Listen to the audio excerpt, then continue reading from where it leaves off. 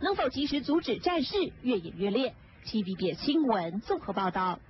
回到台湾这是为了帮助流浪动物。那么有十九名的人气布洛克跟艺人发起了桌立的爱心义卖整个义卖活动在昨天展开了参与的艺人跟布洛克自己自掏腰包认购了好几本。他们也呼吁所有爱动物的朋友可以加入这样的爱心行列。